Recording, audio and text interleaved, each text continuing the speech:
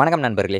விமல் அவர்களுடைய நடிப்பில் தேசிங் ராஜா அத்தனை பேருக்கு பிடிக்குன்றதை கமெண்ட் பண்ணிவிடுங்க அவர் ஒரு வெப் சீரிஸ் இப்போ கேப் விட்டு நடித்தார் நடித்தது தான் நடித்தார் செமையாக நடித்ததும் பயங்கரமாக கமிட் ஆகிட்டு வராரு.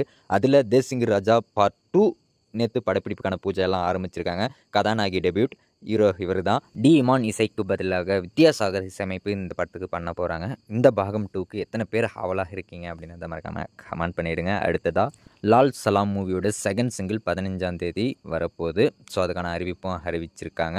அது மட்டும் இல்லாமல் லவ்வர் மூவி மணிகண்டன் அவர்கள் நடித்தார் டீசர் கூட பார்த்தோம். அருமையாக இருந்துச்சு. அந்த படத்திற்கான ரிலீஸ் டேட் அஃபிஷியலாக அறிவிச்சிருக்காங்க. பிப்ரவரி நைன் ரிலீஸ் ஆக போகுது.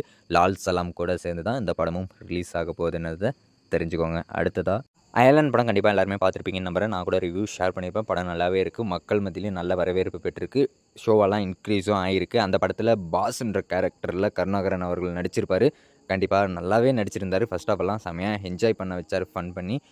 அவருக்கு இந்த வருஷம் நல்ல வருஷமாக அமைஞ்சிருக்குன்னு நினைக்கிறேன். ஏன்னா அயலன் நல்ல ஒரு சக்ஸஸும் அமைஞ்சிருக்கு. நல்ல ஒரு நடிப்பு பேரும் வாங்கியிருக்காரு.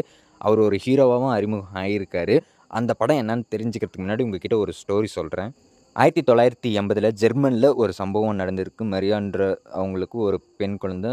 ஃப்ரெண்டோட ஸ்கூலுக்கு போயிட்டு வரும்போது ஃப்ரெண்டு மட்டும் வராங்க அவங்களுடைய பொண்ணு வரலை. ஏன் வரலை அப்படின்னு பார்க்கும்போது அந்த பொண்ணுக்கு எதிர்பாராத தரமாக சைல்டு அபியூஸ் நடந்திருக்கு.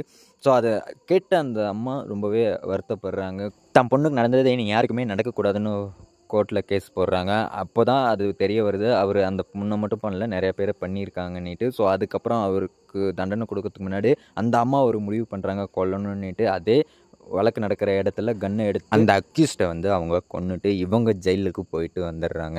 ஸோ இந்த சம்பவத்தை ஏன் நான் இப்போ இங்கே ஷேர் பண்ணுறேன்னா இந்த மாதிரி நிறையா விஷயங்கள் சம்பவமாக நடக்குது இல்லை ஸோ அதெல்லாம் தடுக்கிற முறையில் நிறையா விஷயங்கள் நடக்குது. விழிப்புணர்வாக படங்கள் வருது. அந்த ஒரு படங்கள் கதை கொண்டு ஒரு ட்ரூ இன்சிடெண்ட்டை தான் குற்றச்சாட்டுன்ற படம் கருணாகரன் அவர்கள் இந்த ஒரு படத்தை நடிச்சிருக்காரு. கூடிய விரைவில் வரப்போகுது திரைக்கு.